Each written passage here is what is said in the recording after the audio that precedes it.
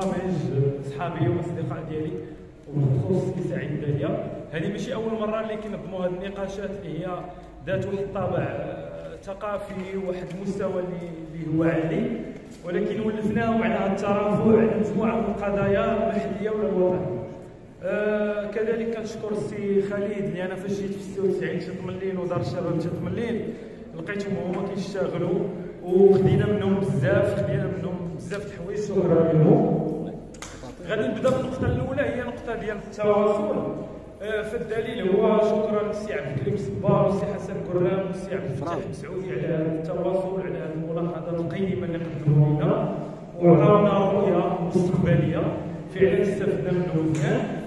آه، ما يمكنش نتكلموا على على على على واحد الخطة استراتيجية. وحنا ما كايناش مقاربه تشاركيه وهذه المراقبه التشاركيه عفوا ما يمكنش تكون وكاينه البيروقراطية.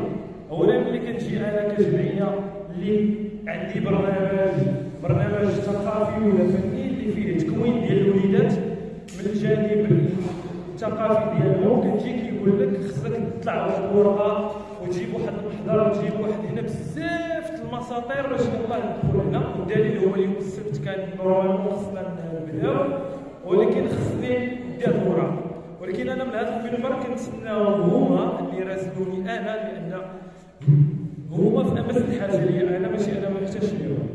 هما في أمس الحاجة للجمعيات هذه واحد. ثانيا آه تيطملي ما يمكنش غادي نشوفوا برنامج جديد رؤيه مستقبليه هو نفس نفس المجلس اللي من 96 هو باقي لحد الساعة. باقي نفس الرئيس باقي نفس باقي نفس المستشارين. إلا كيتبدلوا الأدوار. واش إلا تكلمت على المجال ديالي الثقافي ملي كنشوف واحد الفشل اللي هو ديال 10 سنين ولا 15 عام ولا واحد الفاشل ولا مجموعة من الفاشلين. أنا راه واضح مع الدوما يعطيوني مجموعة من الفاشلين. اللي رسالات وما كيحطش برنامج والسي الشابي راه حاضر التنسيقيه في 2016 اللي كنا كنترافعوا على الهيئه الاستشاريه واخترقونا ومجموعه من الحوايج اللي داروا هادشي اللي خلانا بعدنا اللور ما عندهمش مشاريع ما عندهمش مشاريع وحنا كنعطيوهم مشاريع كيجيو في الآخر كيعطيوك منحه واحد الصدقه كيعطيوها لك ومن هذا المنبر الا كانوا يشوفوا هذا الفيديو كنقول لهم زيدوها فيكم الا كنتو غتجلسوا معنا في الطاوله وتناقشوا معنا المشاريع لأن خاص تشخيص الوضع أي مشروع ما يمكنش نجيو تنديرو. حنا دابا آه، هاد المركب لو صاحب الجلاله ما كانش غيكون. كانت غتكون فيديو الدليل هو الفشل ديالهم كاملين هاد المرافق اللي كاينين في الليل فاشل ما قدموش لنا الجديد ما عطاونا حتى شي حاجة.